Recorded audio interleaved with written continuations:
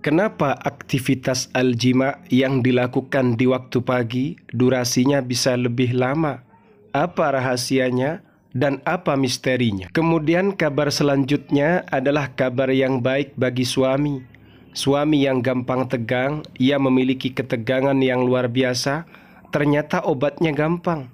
Obatnya adalah melakukan yang enak-enak, yaitu melakukan aktivitas aljima.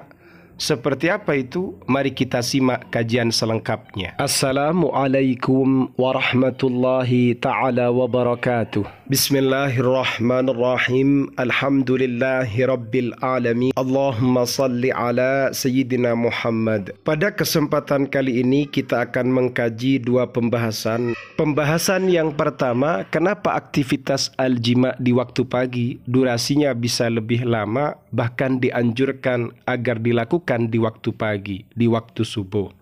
Kemudian yang kedua adalah obat enak, cara enak untuk mengatasi, meminimalisir, mempersedikit ketegangan yang dialami oleh sebagian manusia. Apa itu? Mari kita simak kajian selengkapnya.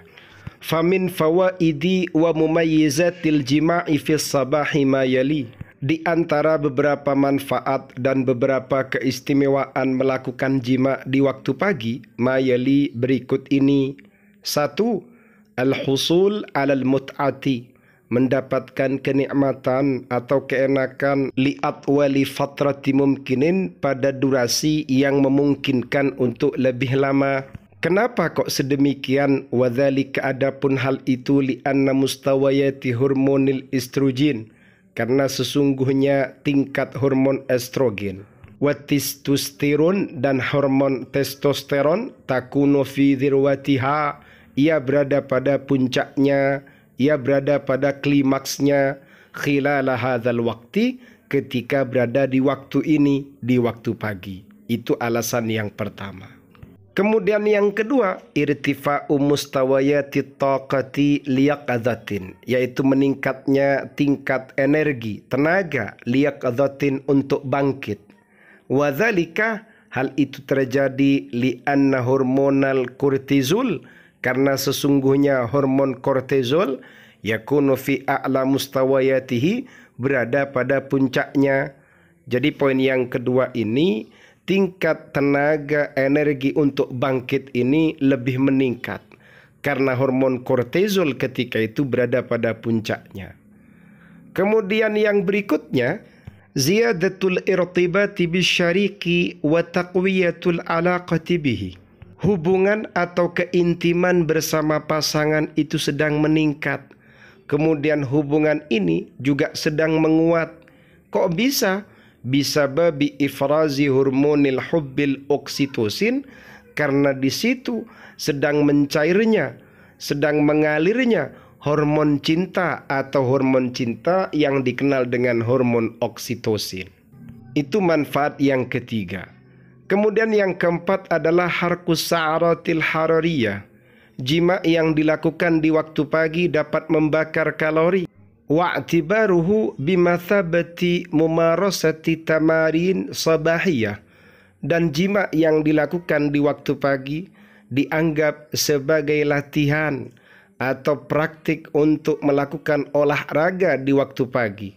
Latihan-latihan otot di waktu pagi haitsu yahriqu al-jinsu di mana hubungan seksual yang dilakukan di waktu pagi dapat membakar hawalai khamsi sa'ratin harariyah fid daqiqah. Dalam satu menit saja, ia dapat membakar lima kalori. Ini termasuk salah satu alasan dan misteri kenapa jima di waktu pagi itu menjadikan durasi lebih lama dan selain daripada itu ada banyak manfaat meningkatkan keintiman dan bisa membakar kalori.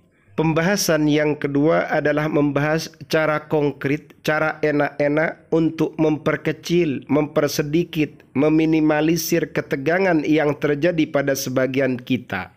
Dengan apa itu? Mari kita lanjutkan. Minal ma'rufi termasuk sesuatu yang sudah dikenal, sudah diketahui annalil jima'i bahwasannya al-jima'i memiliki ta'thiran pengaruh ijabian secara positif alat tawatturi terhadap ketegangan.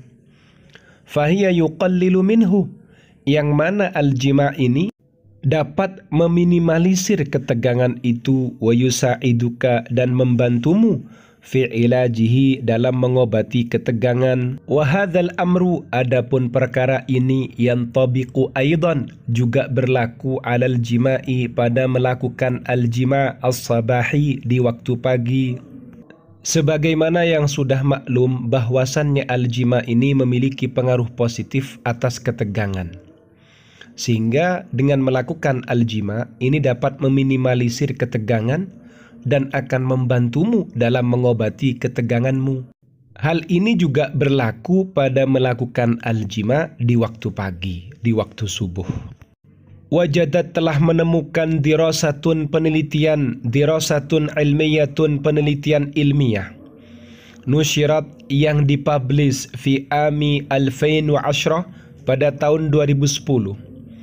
Annal inkhirata fi ayna syatin bahwasannya masuk dalam kegiatan apa pun nasyatin hamimiyin kegiatan intim sabahan di waktu subuh di waktu pagi ya'malu bekerja ala taklili untuk meminimalisir min mustawayati hormon tawattur dari tingkatan hormon ketegangan fil jismi pada tubuh.